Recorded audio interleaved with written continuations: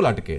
یہ جو یوسف بیگ مرزا صاحب ہیں میڈیا میں بڑے ان رہے ہیں ایم ڈی رہے ہیں بڑے چینلز کے ان کا کیا معاملہ ہوا ہے؟ عمران خان صاحب نے تو وہ خود لائے تھے۔ یہ بظاہر تو لگ رہا ہے جیسے مستعفی ہوئے کہ واقعی مستعفی ہوئے یا استعفیٰ لیا گیا ان کا کیا ہوا ہے؟ نہیں دونوں باتوں کا مطلب تو ایک ہی ہے کہ ان کو فارغ کر دیا گیا۔ اچھا کیا ہوا کیا ویسے ان کا؟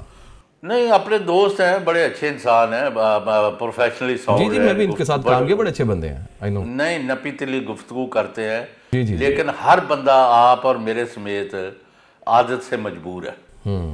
جی ان کا پرابلم یہ ہوا ہے کہ آپ کو ملے تو آپ کو کہا جی وہ چودھری غلام حسین آپ کے بارے میں یہ بات کر رہے تھے۔ مجھے کہہ دیا کہ وہ برخدار مرتضی ہے تو بڑا اچھا ہے لیکن وہ چودھری صاحب وہ تھوڑا سا وہ نا آپ کے بارے میں بات کر رہا تھا کہ چودھری صاحب ایسے ہی منہ پھٹ ہے یہ ہے۔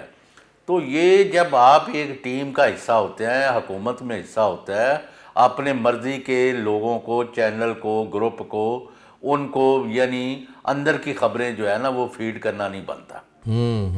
بالکل جی آپ کا یہ کام تھوڑی ہے۔ اب ہمارا آپ کے وہ جی ان سے بڑا ذاتی تعلق ہے تو اسی لیے میں نے ٹائم بھی دیا ورنہ میں تو کسی شو میں نہیں جا رہا آپ نے دیکھا ہے۔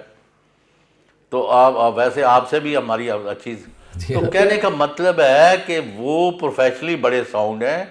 پولیٹیکلی پولیٹیکلی ان کی میچورٹی کا لیول وہ نہیں تھا۔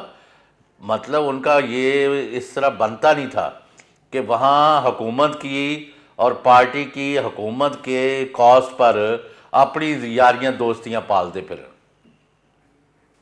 ایم آئی کلیئر جی جی جی بات کیجیے۔